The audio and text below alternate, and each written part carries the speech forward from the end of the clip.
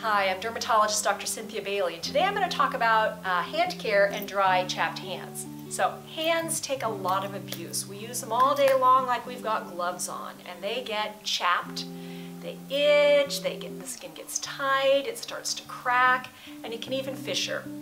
It's more likely to be a problem from fall to spring because we're all avidly washing our hands trying not to get everybody else's cold and flu germs. But hand uh, dermatitis is a problem all year long, especially for people that do a lot of wet work. Their hands are in and out of water, like restaurant workers, healthcare workers, etc. And what's going on with hand dermatitis is that the skin of the hands actually loses the natural lipids because of exposure to harsh chemicals, solvents, wet work, um, weather, etc. So the treatment is to actually reverse all of that. And what that means is washing hands in such a way that we're not overstripping the lipids and then locking all that moisture in so that the barrier can heal by using effective moisturizers that aren't too annoying and greasy. So to wash your hands, I like to teach people public and private side of the hands because the public side on the palm is thicker and can take a little bit more abuse. Hand dermatitis often starts on the back where the skin is thinner and or between the fingers.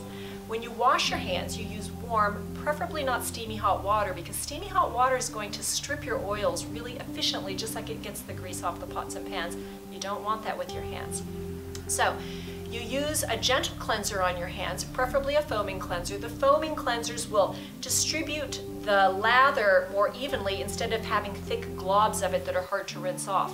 So you lather up um, the uh, public part of your hands. You only lather up the private part if you really did get them into something that needs to be washed off. And then you need to rinse that hand uh, cleanser off entirely. If you leave some on, like if you used a globular cleanser, it's going to continue to strip the oils after you've toweled off. That residue of soap will continue to pull oils out of your skin. So you rinse really well, making certain to rinse behind your uh, rings because hand dermatitis often starts there, making certain to rinse in the web spaces of your hands because that's another site where hand dermatitis often starts. And then uh, towel off and immediately you need to put a moisturizer on. Hand moisturizers are a combination of watery ingredients, oily ingredients, and humectants, which are often glycerin and or lanolin in hand care products. You can even find hand care products that have protective ingredients in them, such as dimethicone, which can act sort of like a protective shield on your hands. And that's actually, that combination is actually one of my uh, favorite. Um, and you want to moisturize your hands as often as you can um, to help heal and prevent hand dermatitis. Um, and you want to minimize the use of hand sanitizers. The alcohol in the hand sanitizers will continue to pull the lipids out of your skin. Of course, if you have to use them, you have to use them, but ideally you want to try to wash your hands uh, with gentle uh, hand cleansers more than hand sanitize your hands. Um, and you want to avoid antibacterial soaps. The FDA has said that antibacterial soaps, which contain triclosan, are of no value in preventing infection. And in fact, um, there's some controversy about using them at all. And often they're in products that are uh, drying and irritating. So avoid antibacterial soaps. And if you are going to go put your hands into circumstances that's going to continue to pull the lipids out, such as doing a whole bunch of dishes or using paint thinners, you want to wear gloves to try to protect your hands from um, those uh, circumstances that will cost you uh, skin lipids and break your barrier down.